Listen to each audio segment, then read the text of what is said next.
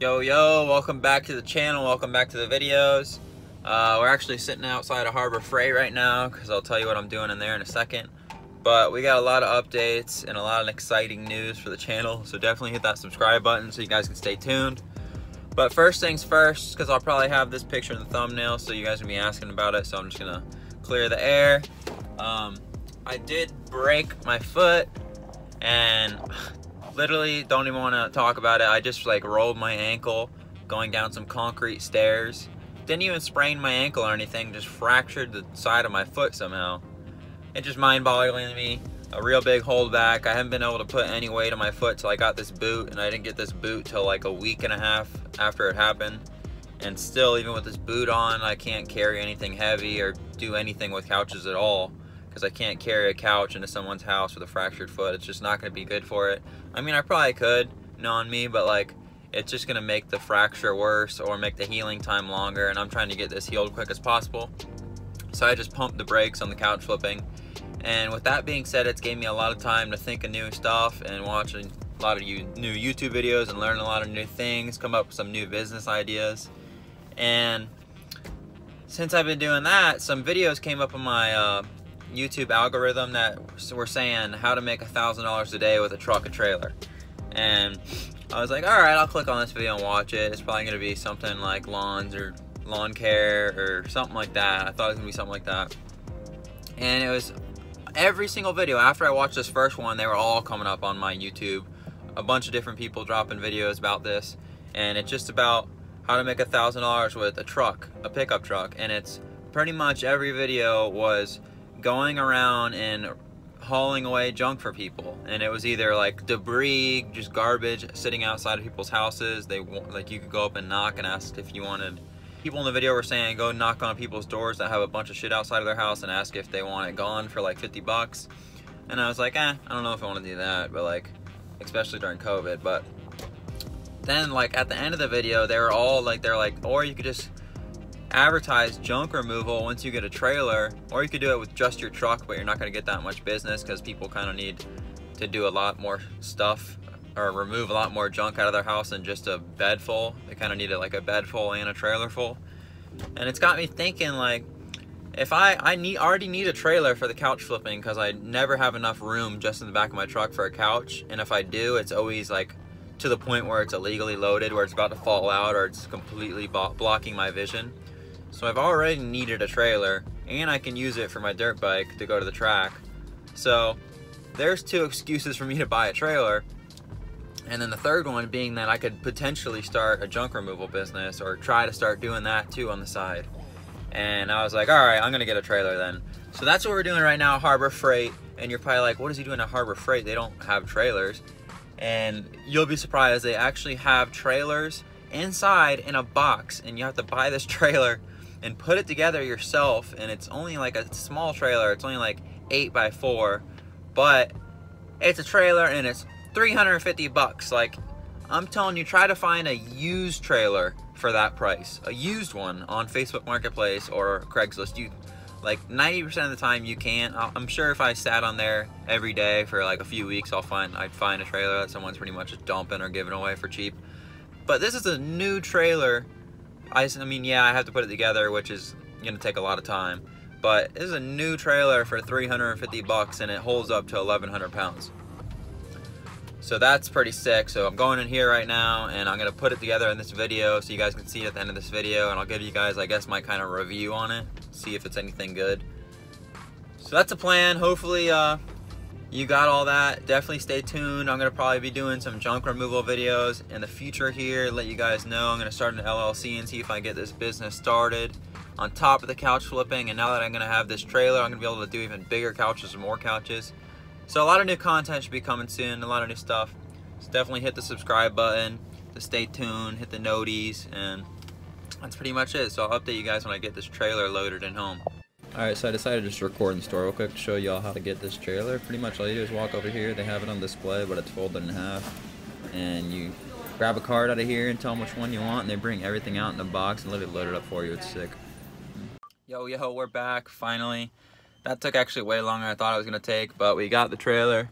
And one of the only reasons it took so long is because the people that were helping me check out, it was their first time um, checking out a trailer, and I guess, which is a positive, they had to fill out a title and give me like a title and everything. It's in this envelope, which is sick because I didn't know how I was gonna get this thing registered and get a license plate on it because I didn't. I was like, how am I gonna get a title for this utility trailer I bought from a store? But I guess they give you a title, so that's actually helps a lot. So that answers a lot of my questions. Did not know they were gonna do that, but that's what they did. But I'm gonna pull this thing out. As you can see, the one box is like the framing, and uh, this, this box right here is just the wheels and tires and fenders. So I'm probably not gonna video me pulling this out. I'm just gonna video me putting it together because it's gonna be a hassle to get out. Probably gonna have to wait for my dad to get home to pull it out because the one box is like 100 plus pounds, and with my broken foot, it's gonna be kind of hard. So anyway, that's the plan. Stay tuned. Probably just gonna put a time lapse of me putting this together, and then I'll show you guys what it looks like at the end. So stay tuned. All right, so we're getting all the parts out, laying them out how I think it's gonna go together. And this is very confusing. These parts are super heavy, like straight steel. And like I was telling y'all, the manual is super confusing because all these numbers you see that number the parts, the parts don't have numbers on them. There's no numbers on the parts. And that's what I was I read online is there's no numbers for the parts and there isn't any on this trailer either. So the online reviews were right. So I'm pretty much just looking at these pictures, laying the parts out like the picture. Then I'm just gonna have to screw them together. That's the bag of hardware. It's like a ton of stuff. And so this is gonna take a while.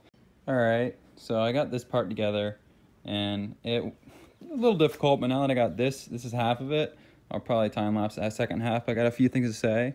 Um, so right here, this is brand new, and you can see this is supposed to be flush because a bolt's gonna go against this. And it looks like it's dented somehow, so that's annoying. And then also, right here in the framing, looks like it's a chip, but it's not because it's painted. That's a little weird. So a few little quality issues right there, but so far so good. It's, I mean, sturdy metal. All right, now we got it to here, connected to two squares, so now it's a full trailer. Got that on. Got the hinges connected, and I was about to flip it, but it was I didn't tighten any bolts yet because I know it's gonna be crooked when I actually get the wheels on. So I left everything loose so I can straighten it out, then tighten everything down. But then I realized I can't flip it with everything loose because stuff's gonna start bending and bolts are gonna bending because the trailer's so heavy. If I try to flip it under that weight, it's probably gonna bend something. So I tightened up like the main joints, like the corners in the middle part. And now we're gonna try to flip it with uh, this. And it's like way over a 100 pound trailer. So uh, let's see how this goes.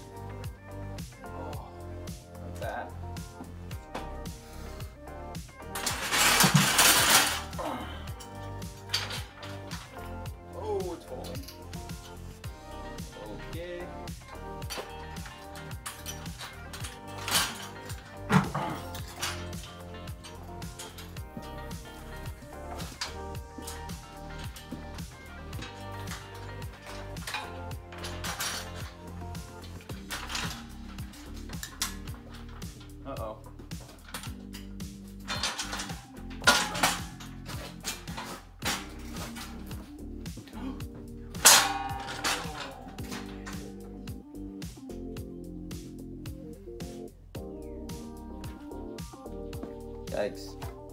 All right, she is almost done. I almost got everything together. Got to screw the wheels on. I need to get a bigger socket set for that. And then I got to put the tongue together.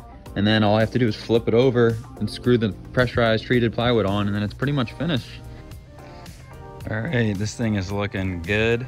Don't mind my voice. I don't know what's going on, but I got a sore throat. But anyways, this thing came along super nice. Honestly, I could sell this thing for more than I bought it for right now easily.